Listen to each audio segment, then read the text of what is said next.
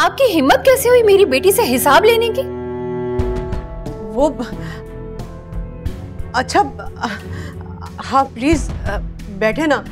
बैठ के बात कर लीजिए। मुझे अब आपसे कोई बात नहीं करनी। उतना काफ़ी है जितना आप महाम को सुना चुकी आई एम सॉरी आप हमारे घर में खड़े होकर इस तरह हमारी इंसल्ट नहीं कर सकती। ओह तो आप जैसे लोगों की भी इंसल्ट होती है।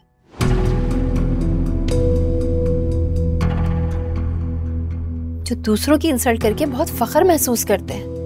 कि तुम और तुम्हारी माँ ही थे ना? जिन्होंने दूसरे की बेटी की बारात वापस लाके उसके बाप को मौत की नींद सुला दिया था।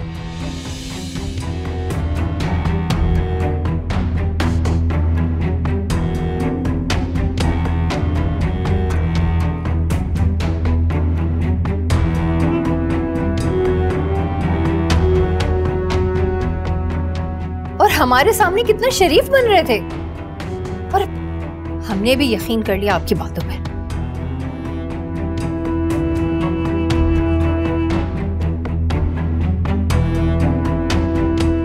वो तो अच्छा हुआ कि वक्त से पहले आप लोगों की असलियत सामने आ गई। वैसे, बारात वापस लाके आपने उस लड़की पे बहुत एहसान किया।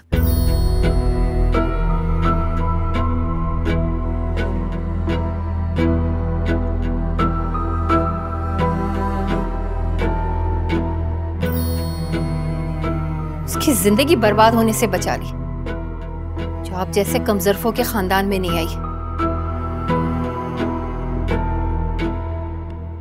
अब सुकून से अपनी ज़िंदगी कहीं गुजार रही होगी। वैसे, अब समझ आया। उस लड़की ने हक क्यों मांगा था?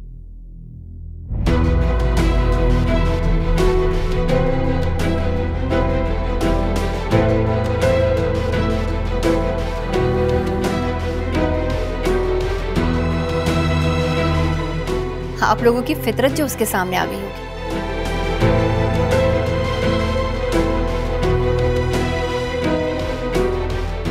वैसे भाई एक बात तो बहुत अच्छी हुई। जो माहम ने तुम्हारी माँ के क्रेडिट कार्ड पर शॉपिंग कर दी इस बहाने आप लोगों की आलत जरफी तो सामने आई। आपको कोई हक नहीं बनता हमारे पर्सनल मैटर में इंटरफेयर करें। एक्सक्यूज मी तुम्हारी माँ को हक था मेरी इंसल्ट करने का। वो तो अल्लाह का शुक्र है। कि तुम लोगों की असलियत वक्त से पहले मेरे सामने आ गई।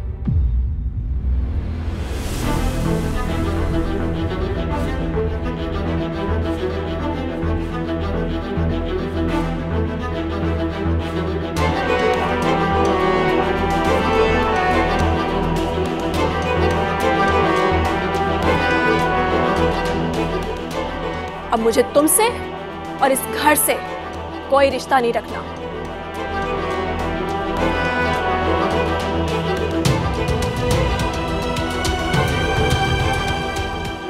तलाक के पेपर्स तुम्हें मिल जाएँगे। और वो सारा सामान भी जिसके लिए तुम्हारी माँ मरी जा रही है। आप लोग जा सकते हैं।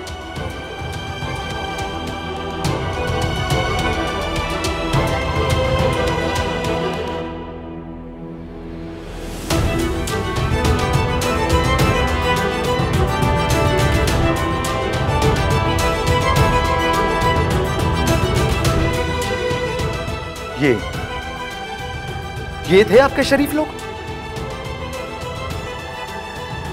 वो